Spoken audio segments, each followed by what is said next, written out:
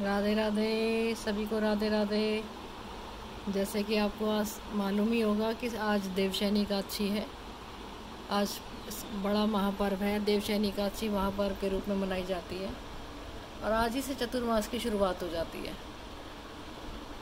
इसी एकादशी से भगवान विष्णु शहन निद्रा में चले जाते हैं और इसी दिन से चतुर्मास शुरू हो जाता है। चार महीने के लिए शुभ कार्यों पर रोक लग जाती है। शुभ कार्य नहीं होते चार महीने तक।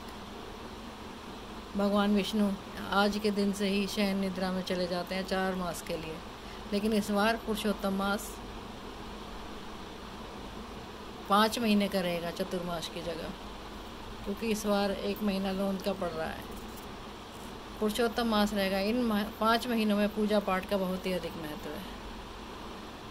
तो सभी लोग आज ही के दिन से पूजा पाठ, ध्यान, भगवान विष्णु की सेवा, ठाकुर जी की सेवा, बड़े मन से करें। देखो, आज मैंने भी अपने कान्हा जी को विशेष रूप से तैयार किया है।